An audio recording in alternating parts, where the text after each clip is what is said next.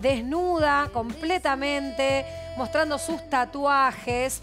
Así la podemos ver, artístico en el barro, con este cerdito que se llama Bubayú, así se llama el cerdito. Está flaquita, ¿eh? Muy delgada, muestra todo en esta publicación que meses atrás desnudó a Kim Kardashian. Así que es una publicación que se dedica por desnudar a las grandes figuras del momento, podemos decir, y así la vemos, mirá, pintada, con distintos colores. Y en esta entrevista que ella dio, cuenta justamente que a los 14 años le contó a su mamá que le gustaban las mujeres. Cuenta justamente esa declaración, entre otras, acerca de este momento de su vida y también de su sexualidad.